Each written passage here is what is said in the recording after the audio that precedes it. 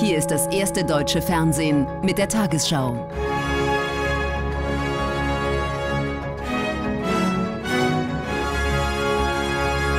Heute im Studio Susanne Daubner.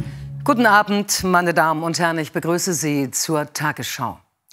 Der AfD-Vorsitzende Meuthen kann im parteiinternen Machtkampf einen Erfolg verbuchen. Auf einem Bundeskonvent im sächsischen Lommatsch fiel heute ein Antrag mit dem Ziel durch, Meuthen eine Missbilligung auszusprechen.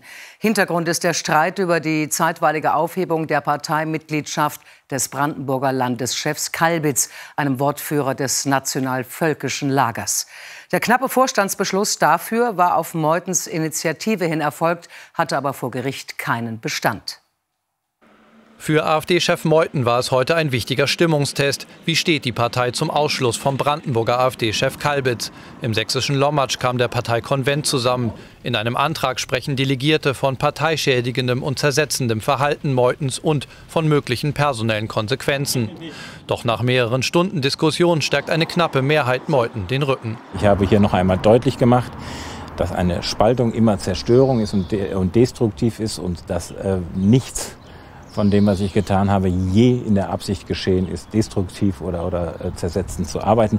Seit gestern war der Druck auf Meuthen nochmal gestiegen. Das Berliner Landgericht hatte entschieden, dass Andreas Kalbitz zunächst weiter Mitglied der AfD ist, bis ein Parteischiedsgericht entscheidet. Für Kalbitz ein Etappensieg. Das ist eine gute Entscheidung. Und jetzt äh, geht es darum, dass man sich aller unterschiedlichen Positionen in der Hinsicht wieder auf die sachliche politische Arbeit konzentriert. Kalbitz Unterstützer bringen sich weiter gegen Meuthen in Stellung. Thüringens Landeschef Höcke schreibt, zum dritten Mal in unserer sehr jungen Parteigeschichte will also einer unserer Bundessprecher Teile der Partei mundtot machen oder sogar aus der Partei drängen. Er redet nicht nur von Spaltung, er will gegen den Mehrheitswillen spalten.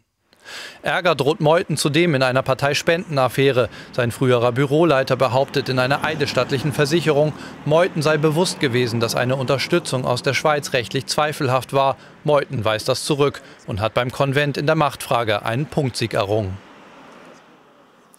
Nach dem Corona-Ausbruch beim Fleischproduzenten Tönnies in Nordrhein-Westfalen hat das Unternehmen seine Verantwortung eingeräumt. Firmenchef Tönnies entschuldigte sich und kündigte gravierende Veränderungen an. Einen Rücktritt lehnte er ab. Inzwischen sind 1029 Mitarbeiter positiv auf das Virus getestet worden. Alle 6500 Mitarbeiter sind in Quarantäne. Um eine Abriegelung der gesamten Region zu verhindern, haben sich die Behörden im betroffenen Landkreis Gütersloh Zugriff auf Personalakten und 1300 Mitarbeiteradressen verschafft. Es sind enorm hohe Infektionszahlen, die der Kreis Gütersloh heute gemeldet hat. Trotzdem sei der Hotspot weiterhin auf das Unternehmen Tönnies, besonders die Schweinezerlegung in den Betrieb beschränkt, wo zwei Drittel der Mitarbeiter positiv getestet wurden. Harsche Kritik übte der Kreis Gütersloh an der Unterstützung von Tönnies bei der Beschaffung der Adressen aller Mitarbeiter. Erst als Behörden selbst gestern Abend ins Unternehmen kamen, hätten um halb zwei heute Nacht endlich alle Wohnadressen festgestellt werden können. Das Vertrauen, das wir in die, Familie, äh, in die äh, Firma Tönnies setzen, ist da auf Null. Wir haben gestern Morgen eine Adressliste gekriegt. Äh, da waren, sag ich mal, 30 Prozent der Mitarbeiterinnen und Mitarbeiter ohne Adresse. Die Tests an 7000 Mitarbeitern laufen. Am späten Nachmittag dann äußerte sich Firmenchef Clemens Tönnies zu den Vorwürfen. Sie befänden sich in ihrer größten Krise. Sie würden alles tun, um den Krisenstab zu unterstützen. Doch von den Werkvertragmitarbeitern dürften sie aus rechtlichen Gründen keine Adressen speichern und die Subunternehmer hätten auf den Datenschutz verwiesen. Die Dienstleister haben nicht alle mitgespielt, haben sich dahinter verschanzt. Dann haben wir Druck aufgebaut, haben die Behörde um Hilfe gebeten, äh, gebeten und gesagt, gebt uns eine Verordnung oder eine Anordnung, damit wir Druck aufbauen können. Tönnies kündigte einen grundlegenden Umbruch in der Fleischbranche an. So werden wir nicht weitermachen. Und das sage ich auch nicht nur als Tönnies, als Firma Tönnies oder Unternehmer. Wir werden diese Branche verändern. Das steht fest. Doch die Bürger im Kreis Gütersloh sorgen sich darum, dass die Mitarbeiter die Quarantäne nicht einhalten könnten und das Virus sich weiter verbreitet. 7000 Tönnies-Beschäftigte sind nun unter Quarantäne und werden durch die Polizei kontrolliert. In Ferl wurde eine Quarantänezone eingerichtet, wo 670 Tönnies-Mitarbeiter wohnen, um sicherzustellen, dass die Menschen wirklich zu Hause bleiben. Wegen der Corona-Ausbrüche in mehreren Fleischbetrieben ist die Diskussion über die Arbeitsbedingungen neu entfacht. Die katholische Kirche prangert die, Zitat, Ausbeutung und sklavenähnlichen Praktiken an, bei denen Migranten aus Osteuropa als billige Arbeitskräfte mitten in Deutschland missbraucht würden. Auch Bundesarbeitsminister Heil dringt auf schnelle Schritte zum Schutz der Beschäftigten. Noch bevor das neue Gesetz zur Arbeitssicherheit da sei, müssten Kontrollen verschärft werden, sagte Heil dem Redaktionsnetzwerk Deutschland. In Göttingen haben Bewohner eines unter Quarantäne stehenden Wohnkomplexes Polizisten mit Gegenständen beworfen und einige verletzt.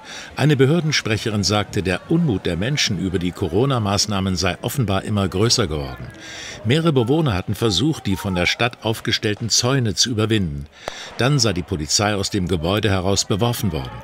Die Stadt Göttingen hatte heute mit der zweiten Testreihe begonnen. Rund 700 Menschen stehen dort unter Quarantäne. Der angeschlagene Warenhauskonzern Galeria Karstadt Kaufhof plant, auch 20 von 30 Filialen der Tochter Karstadt Sports zu schließen. Betroffen sind nach Informationen des WDR unter anderem Niederlassungen in Köln, Düsseldorf, Essen, Hamburg und München mit insgesamt 700 Arbeitsplätzen. Gestern hatte der Konzern angekündigt, 62 der insgesamt 172 Warenhäuser aufzugeben. Die Vorwürfe gegen den CDU-Abgeordneten Amthor haben Forderungen nach einem Lobbyregister für den Bundestag Schub verliehen. Auch aus der Union gibt es jetzt zustimmende Signale. Es geht darum, Kontakte von Parlamentariern zu Firmen und Lobbyisten transparenter zu machen. Der CDU-Politiker Amthor war wegen seines Einsatzes für ein US-Unternehmen in die Kritik geraten. Als Folge gab er gestern bekannt, nicht mehr für den CDU-Landesvorsitz in Mecklenburg-Vorpommern zu kandidieren. Es gibt viel zu besprechen gestern Abend beim Treffen des CDU-Landesvorstands Mecklenburg-Vorpommern. Parteiintern nimmt Amtor nach eigenen Angaben umfassend Stellung zu den Vorwürfen und zieht Konsequenzen. Man müsse bereit sein, persönliche Ziele hinter das Wohl der Partei zu stellen. Deshalb habe ich mich an dieser Stelle heute trotz überragender Unterstützung und viel Zuspruch, auch aus den eigenen Reihen, entschieden, dass ich für das Amt des Landesvorsitzenden der CDU Mecklenburg-Vorpommern nicht zur Verfügung stehe. Die Vorwürfe gegen den CDU-Abgeordneten haben in Berlin Schwung in die Debatte um ein sogenanntes Lobbyregister gebracht. CDU und CSU hatten bisher Vorbehalte. Die Grünen fordern es dagegen schon lange. Wir brauchen Klarheit über Lobbyismus, wir brauchen Klarheit über alle Nebentätigkeiten und wir brauchen einen legislativen Fußabdruck, damit wir wissen, wie Lobbyisten auf äh, Gesetze eingewirkt haben. Es darf keinen weiteren Schutz der Union äh, bei Korruption geben. Ähm, da muss jetzt endlich etwas passieren. Durch den Fall Amthor steigt der Druck auf CDU und CSU nun doch mitzumachen. Der parlamentarische Geschäftsführer der Unionsfraktion Grosse Brömer stellte heute klar, eine Einigung sei möglich. Ein Lobbyregister wird kommen. Die Frage ist nur noch, wie es aussehen soll. Dazu gibt es im Bundestag nämlich noch keine inhaltliche Einigung zwischen Union und SPD. Sieben Wochen vor der Präsidentenwahl in Belarus sind bei erneuten Protesten mehr als 100 Anhänger der Opposition festgenommen worden. In der Hauptstadt Minsk hatten sich trotz Repressionen hunderte Menschen spazierend und applaudierend versammelt, um Oppositionspolitiker bei ihrer Kandidatur zu unterstützen. Diese konnten bis gestern Unterschriften sammeln, um im August gegen den autoritären Amtsinhaber Lukaschenko antreten zu können. Anlässlich des Weltflüchtlingstages haben Politiker, Helfer und Kirchenvertreter einen verstärkten Schutz von Menschen auf der Flucht angemahnt.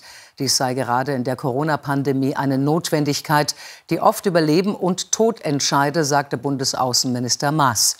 Deutschland ist weltweit das fünftgrößte Aufnahmeland. Ende 2019 lebten hierzulande 1.150.000 anerkannte Flüchtlinge. Eine Aktion des UNHCR will auf ihre Situation aufmerksam machen. Ich bin entkommen mit meinen Kindern. Meinem Bruder.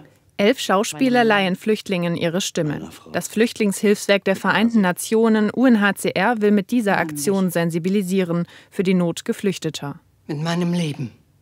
Eine Reise ins Ungewisse hat auch Gebrabes Gilemarian hinter sich. Er kam 2014 aus Eritrea. Mittlerweile macht er in Stuttgart eine Ausbildung zum Schreiner. Der Weg dahin war voller Hindernisse. Die Papiere ist schwierig, Sprache ist schwierig, Arbeit zu finden schwierig. Wenn du eine, eine, ein Ziel hast, das ist, so geht einfach. Die Integration auf dem Arbeitsmarkt ist für viele Flüchtlinge schwer, auch wegen fehlender Berufsabschlüsse. Trotzdem gibt es Fortschritte. Im Januar 2015 hatten knapp 26 Prozent eine sozialversicherungspflichtige Arbeit. Anfang 2020 waren es 10 Prozent mehr. Deutschland ist weltweit das fünftgrößte Aufnahmeland für Flüchtlinge. Eine Herausforderung vor allem für die Kommunen. Es ist ja keine Gruppe, die jetzt aus einem Land kommt, es sind ganz viele Länder. Und sich darauf einzustellen, auch genügend Freiwillige immer wieder zu motivieren und zu finden, äh, das ist schwierig. Aber die Kommunen werden das meistern. Wir haben ja auch gar keine Alternative. Gebrabes Gelemarian absolviert nächste Woche seine Abschlussprüfungen zum Schreiner. Er will mit seiner Familie in Deutschland bleiben. In der Fußball-Bundesliga hat sich Mainz 05 am vorletzten Spieltag den Klassenerhalt gesichert. Die Rheinhessen besiegten den Tabellenvorletzten Werder Bremen mit 3 zu 1. Mainz in den roten Trikots geht nach 25 Minuten in Führung. Bremens Sargent und Gebre Selassie können zunächst noch klären, dann aber trifft Quaison zum 1 zu 0. Mainz reicht ein Sieg zum Klassenerhalt. Noch vor der Pause erhöht Boetius nach toller Vorarbeit von Lazza auf 2 zu 0. Die Bremer, die selbst ein Erfolgserlebnis brauchen im Abstiegskampf, scheinen früh geschlagen. Nach dem Wechsel aber gibt es noch einmal Spannung, als der Japaner Osako zum 1 zu 2 verkürzt, aus Bremer Sicht. Zum Ausgleich oder gar zum Sieg für Werder reicht es aber nicht. Der eingewechselte Fernandes trifft in der 85. Minute zum 3 zu 1 Endstand. Mainz spielt nächste Saison zum zwölften Mal in Folge in der Fußball-Bundesliga. Werder Bremen braucht hingegen am letzten Spieltag gegen den 1. FC Köln unbedingt einen Heimsieg, um eine Chance zu haben, wenigstens den Relegationsplatz noch zu erreichen. Riesenjubel beim FC Augsburg. Das Team von Heiko Herrlich hat durch ein 1:1 in Düsseldorf den Klassenerhalt klargemacht. Den besseren Start erwischt die Fortuna. Der Treffer von Ruven Hennings wird allerdings nach Videocheck von Schiedsrichter Siebert korrekterweise zurückgenommen. Eihahn zuvor mit der Hand am Ball. Die Führung für Augsburg dann fast im Gegenzug, 10. Minute. Florian Niederlechner vorbei an Eihahn, cool zum 0 zu 1. Niederlechner an über der Hälfte aller Augsburger Tore in dieser Saison beteiligt. Uwe Röslers Team schüttelt sich kurz und antwortet prompt. Ruven Hennings mit dem Ausgleich in der 25. Minute. Für Hennings bereits das 15. Saisontor. Im zweiten Abschnitt sind die Gäste dem Sieg ein bisschen näher. Die größte Gelegenheit hat Niederlechner, 71. Minute. Am Ende bleibt es beim 1:1. Düsseldorf hat nur noch die Relegation im Blick, aber die am letzten Spieltag in der eigenen Hand. Und hier die weiteren Ergebnisse. München-Freiburg 3 zu 1, Leipzig-Dortmund 0 zu 2, Hoffenheim-Union Berlin 4 zu 0, Hertha BSC Leverkusen 2 zu 0, Schalke-Wolfsburg 1 zu 4, Köln-Frankfurt 1 zu 1, Paderborn-Mönchengladbach 1 zu 3. Die Tabelle. Hinter Meister München belegen Dortmund, Leipzig und Mönchengladbach die weiteren Champions League Plätze. Leverkusen, Wolfsburg und Hoffenheim aktuell auf den Europa League Rängen. Die zweite Hälfte auch in der kommenden Saison erstklassig Hertha BSC, Schalke, Union Berlin, Mainz, Köln und Augsburg. Düsseldorf auf dem Relegationsplatz muss noch zittern. Bremen vorletzter. Paderborn steht als Absteiger fest. Die Lottozahlen. 1, 2, 7, 11, 14, 40. Superzahl 3. Diese Angaben sind wie immer ohne Gewähr. Weitere Gewinnzahlen finden Sie auf tagesschau.de und im ARD-Text ab Tafel 580. Und nun die Wettervorhersage für morgen, Sonntag, den 21. Juni. Von Westeuropa her dehnt sich ein Hoch weiter aus. Einige Regionen verbleiben aber noch unter Tiefdruckeinfluss. Heute Nacht kann es im Süden noch einzelne Schauer geben. Von Vorpommern bis zum Erzgebirge, in Ostbayern und an den Alpen regnet es gelegentlich, sonst ist es trocken. Und morgen oft freundlich. Ganz im Osten und Süden noch dichte Wolken und örtlich Regen. Ab dem Nachmittag auch im Westen und Nordwesten wolkiger und stellenweise etwas Regen. Heute Nacht Tiefstwerte von 15 bis 7 Grad. Morgen werden in Vorpommern 17, am Oberrhein 27 Grad erreicht. Am Montag Sonne, Wolken, im Osten und Süden zunächst noch gebietsweise etwas Regen. Dienstag und Mittwoch dann überwiegend sonniges, trockenes und sehr warmes Sommerwetter. Um 23.25 Uhr hat Ingo Zamperoni diese Tagesthemen für Sie. Mehr als 1000 Infizierte, null Vertrauen. Der Behördenfrust über Fleischfabrikant Fabrikant Tönnies und Konfrontation in Talze, warum Trumps Wahlkampfauftakt kaum umstrittener sein könnte. Ich wünsche Ihnen einen guten Abend.